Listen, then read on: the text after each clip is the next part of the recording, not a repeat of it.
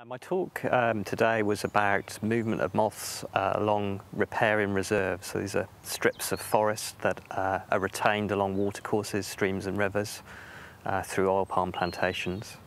Um, so we were interested in understanding whether these, uh, these sort of linear fragments of forest might act as dispersal routes for, for organisms that otherwise are dependent on, on rainforests.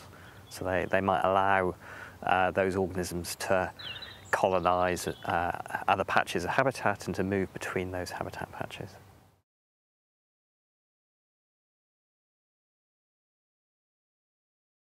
Well, what we were doing was uh, actually marking the moths. Uh, we were putting dots um, or writing numbers on their wings uh, with marker pens, and this allows us to um, get a sense for uh, the directionality of their movements and the distances over which they're moving. We think that they're relatively robust to, to being handled a little bit. So the moths are varying in size from about um, three to four centimetre wingspan to six to seven centimetres.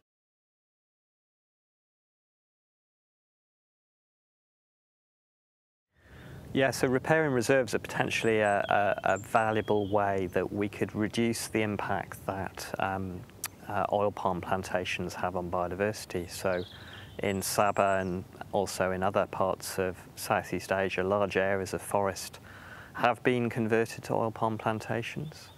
Uh, in some of these landscapes, forest has been retained along rivers and there are now regulations in force in many places that uh, stipulate how wide those riparian reserves should be. Um, so what we're really interested in knowing here is whether these riparian reserves are effective, both as places for biodiversity to live and to have self-sustaining populations, but also as, as dispersal routes.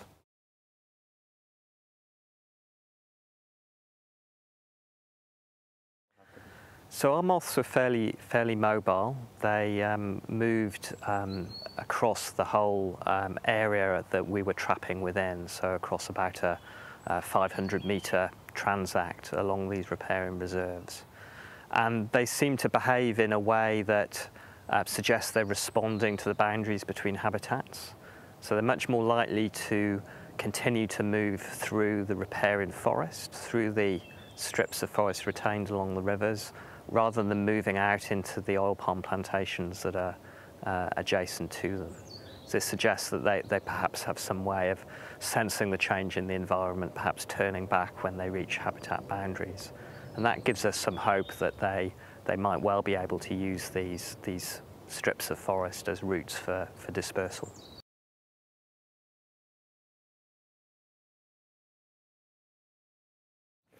Yes, I think moths in this case are, being used as a model organism. We've also done similar work on dung beetles, uh, again marking them and, and, and, recapturing them at different distances along these riparian reserves and they seem to be showing similar patterns to the moths. So more generally I guess we might be interested in how larger organisms also use these riparian forests for movement but uh, starting with the, the dung beetles and the moths is, a, is hopefully a good start.